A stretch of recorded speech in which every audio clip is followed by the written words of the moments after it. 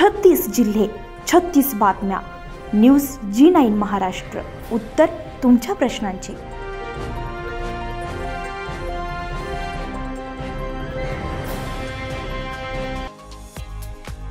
अनेक वर्षांपासून आंबेडकरी चळवळीमध्ये बुद्ध आणि त्यांच्या धम्म गतिमान करण्यासाठी रात्रंदिवस आपल्या अथक परिश्रमातून अनेक गावांना भेटी देऊन सामाजिक कार्य करत आहेत ते सिद्धार्थ सावळे. अंजनगाव तालुक्यातील दहिगाव रेचा एक छोटेसे गाव. याच गावापासून बुद्ध आणि त्यांच्या धम्माची शिकवण सिद्धार्थ सावळे यांनी सुरुवात केली. काही राजकीय पुढारी बुद्ध विहाराचा आणि बुद्ध धम्माचा सारा घेऊन दोन चार महिने किंवा एक दोन वर्ष धम्मसेवेचे नाटक करतात. धम्मसेवा बुद्धविहार हे विचारपीठ आहे. इथे काम करणारा व्यक्ती हा समाजाच्या नजरेत मोठा होतो आणि मोठा झाला की तो राजकारणाकडे जास्त भर देतो. फायद्यासाठी धम्माचा उपयोग करून घेणारे लोक जास्त पाहायला मिळत आहे धम्मसेवेसाठी त्याग महत्त्वाचा आहे त्यामुळे त्याग ही सोपी गोष्ट नाही. ते फार काळ करू शकत नाहीत.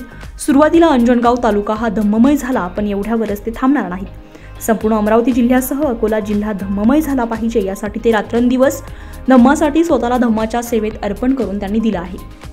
उपासक उपासिका समता सैनिक दलाचा कार्यकर्ता भारतीय बौद्ध महासेवेचा कार्यकर्ता आणि सर्व भीम सैनिक वयोवृद्ध ते नवतरुणांपर्यंत बुद्ध आणि त्यांचा धम्म गतिमान करत आहे न्यूज जी नाईन महाराष्ट्रासाठी प्रतिनिधी मंगेश शिंगळे अमरावती.